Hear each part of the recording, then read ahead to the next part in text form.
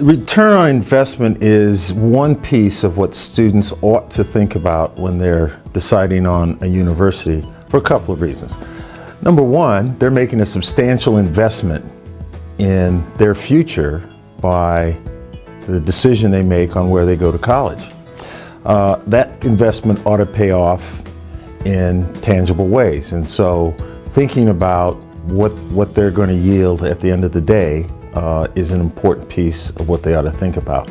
The other reason is that there are a lot of other things that go into consideration about where you go to college. Um, and giving the appropriate weight to those kinds of things in addition to the return on investment is a piece of what they ought to be thinking about. Being ranked that high amongst the schools in Wisconsin confirms that we're doing the right things here, that we're keeping the cost of education affordable and we're delivering a high quality education that pays off in a tangible way for our graduates. Well, the University of Wisconsin-Platteville's overall mission is to provide a high quality, affordable education to the citizens of the state of Wisconsin and other students.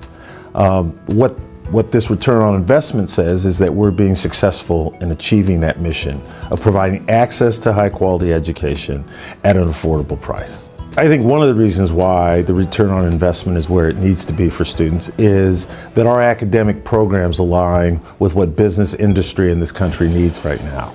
Uh, that is a heavy emphasis on STEM fields, science, technology, engineering, and mathematics. You know, you look at our engineering programs, you look at our agricultural programs, you look at our business programs. Those are all areas where there's high need in the economy right now.